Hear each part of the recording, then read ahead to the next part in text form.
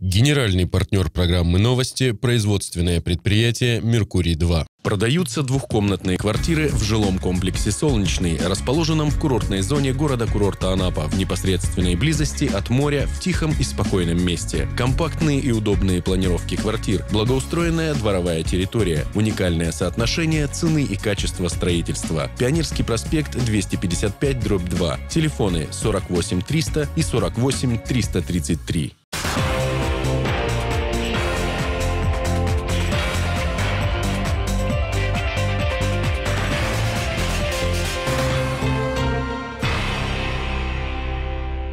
Эфир канала РЕН-ТВ продолжает новости Анапа регион. В студии Ирина Меркурьева. Здравствуйте. Смотрите сегодня в выпуске. Город с иголочки. В Анапе идут работы по благоустройству. Мусору вторую жизнь. На курорте прошла экологическая акция. Где живут лучшие хуторянки, выясняли на конкурсе в станице Анапской. А сейчас обо всем подробнее. Две с половиной тысячи малышей появились на свет в Анапе в прошлом году. Демографическая ситуация в нашем городе по-прежнему характеризуется высоким уровнем рождаемости. О политике в сфере здравоохранения говорили в администрации города-курорта. С каждым годом все больше малышей рождается в анапских семьях. По показателям демографической ситуации наш город в лидерах. Анапа с 2007 года стабильно занимает ведущие позиции в Краснодарском крае и входит в пятерку лучших муниципальных образований с положительным стабильным естественным приростом населения. Сохраняются эти позиции благодаря работе высококлассных специалистов и достойной медицинской базе учреждений здравоохранения, которая совершенствуется с каждым годом. В 2013-м на базе детской городской больницы Анапа открыто отделение второго этапа выхаживания новорожденных. Квалифицированную медицинскую помощь получили уже более 200 малышей. Впервые за 32 года со дня постройки проведен капитальный ремонт фасада здания родильного дома. 2015 год обозначен президентом России как год год борьбы с сердечно-сосудистыми заболеваниями. Должны быть намечены действенные профилактические мероприятия, подчеркнул глава Анапы Сергей Сергеев. В их числе Дни здоровья. Мы просим врачей выходить и медсестер, средний персонал, выходить в э, выходной для себя день в субботу и ехать к людям. Не люди к нам, а к людям. Мы уговаривать, приходите. И чем моложе будет э, контингент приходить на День здоровья, тем больше будет пользы. Ранняя диагностика. Об эффективности Дней здоровья говорят и врачи. Выявленные случаи тех или иных заболеваний позволяют оперативно принять меры и не допустить развития тяжелых патологий. Полезная практика проведения Дней здоровья на курорте продолжается. Анапа активно готовится к 70-летию Великой Победы и предстоящему курортному сезону. В порядок приводятся улицы, к ремонту готовятся памятники военной истории.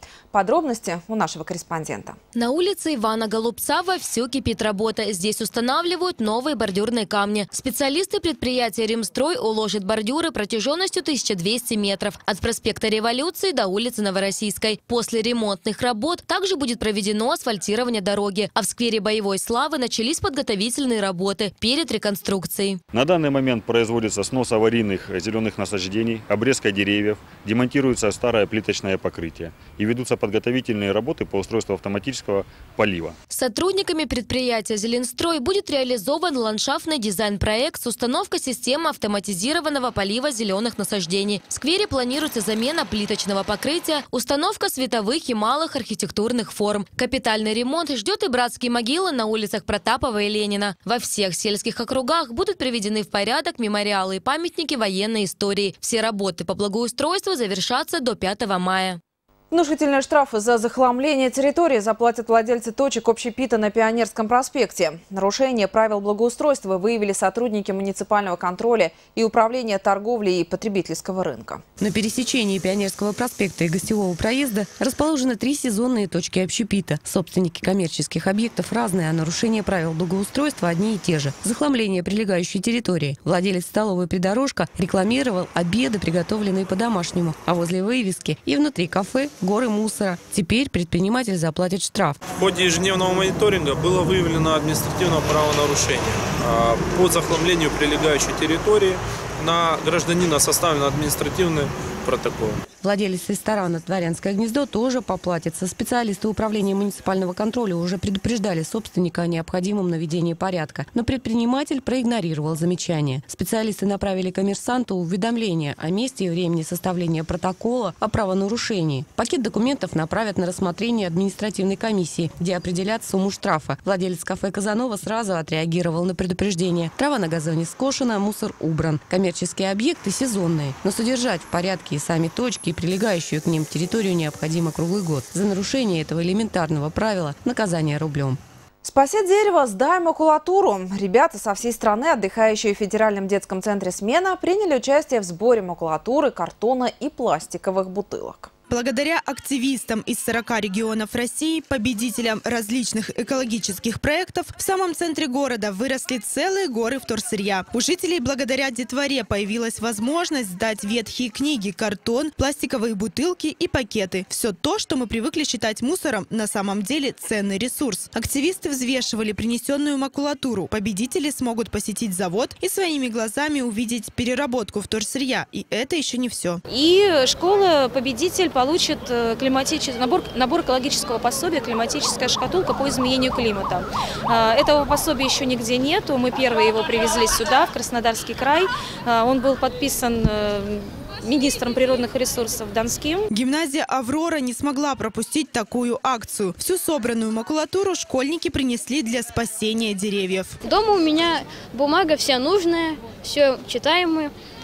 Вот у моего дедушки на работе было много макулатуры, поэтому он принес ее, и я решил собрать и принести. Мы собирали бумагу, старые журналы, книжки, э, пластиковые бутылки, чтобы сохранить как можно больше деревьев. На экологическое движение обращали внимание не только дети. Взрослых не меньше интересовал вопрос, как спасти планету. А в завершении акции маленький сюрприз от лагеря «Смена». Ребята устроили флешмоб с зажигательными танцами, развлекая прохожих и обращая внимание на свое движение. Любой желающий мог присоединиться и выучить новый танец.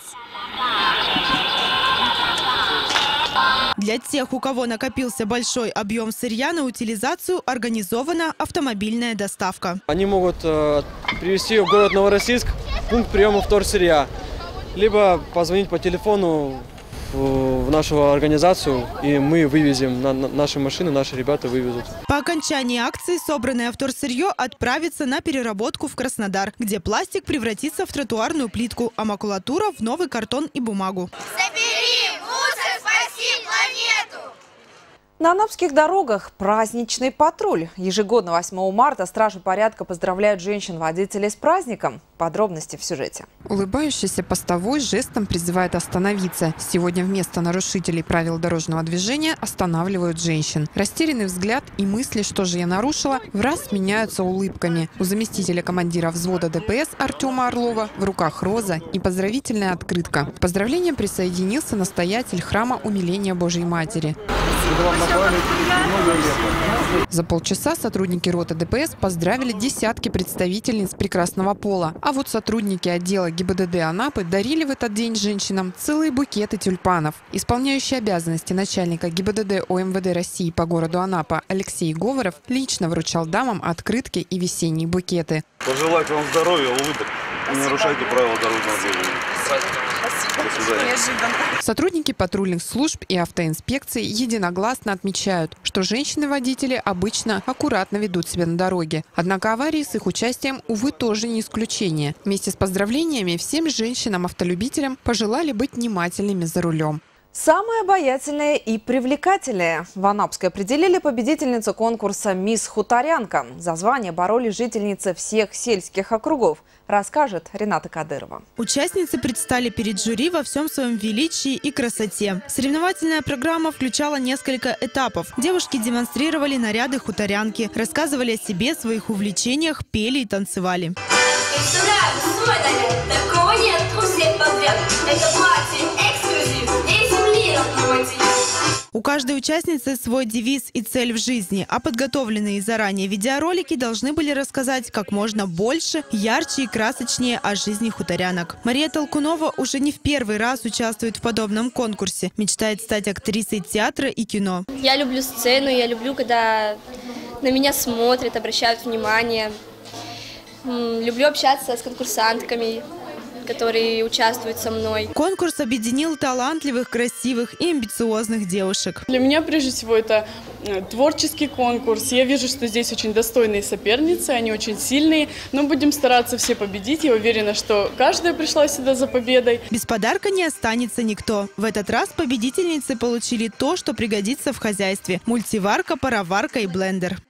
Спорту массовость. Одиннадцатый год подряд в Анапе проходит спартакиада трудящихся в рамках краевой программы развития массового спорта. Былинные богатыри, они не только в сказках. Они живут вокруг нас, ходят на работу в костюмах. Ежегодная спартакиада трудящихся их преображает. Например, начальник управления по делам молодежи легко разбирает и собирает автомат Калашникова за 43 секунды.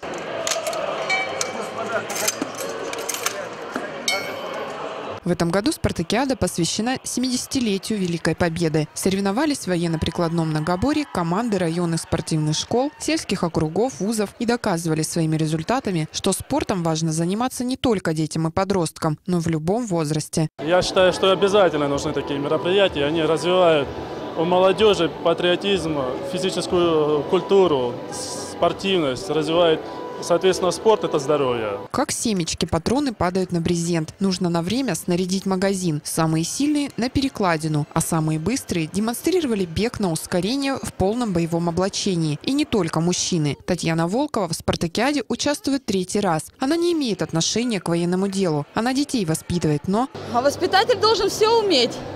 И детей воспитывать, и полы мыть, и также таких вот мероприятиях участвовать. Я опять показала то, что я умею. Значит, я как на всех наравне с мужчинами могу это почувствовать. Очень нравится тем, что свои силы можно показать. Также целый год я бегаю, тренируюсь у нас на стадионе, поэтому очень даже интересно. Результат спартакиады удивил. Военные заняли командное третье место. Второе завоевала команда спортивной школы номер один. А победили команда управления по делам молодежи Анапы. Лучшие спортсмены представят Анапу на краевых соревнованиях. И это все новости на сегодня. Передаю слово Наталье Измызговой.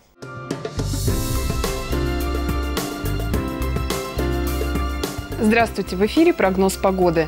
Завтра в Анапе ожидается переменная облачность с прояснением. Днем уже совсем тепло, до плюс 15. Город преображается. На улицах появляются яркие пальто и куртки, а солнечные улыбки на лицах прохожих – еще одна особая примета этого времени года. Спонсор прогноза погоды – офтальмологическая клиника 3Z. Чтобы зрение не подводило, пора пройти комплексную диагностику в офтальмологической клинике 3Z. Пусть ваше настроение будет весенним и солнечным, независимо от погоды. Считаете, что раньше вы видели лучше? Самое время посетить врача-офтальмолога. Комплексная диагностика в офтальмологической клинике 3Z. Мы расскажем все о вашем зрении. Запишитесь на диагностику в анапском подразделении 3Z по телефону 30 31 0, Крымская 242. 3Z. 12 лет мы заботимся о ваших глазах. Партнер программы – производственное предприятие «Меркурий-2». Эти и другие новости вы можете найти на нашем сайте и в социальных сетях. А я с вами прощаюсь. Всего вам доброго и до свидания. Генеральный партнер программы «Новости» – производственное предприятие «Меркурий-2».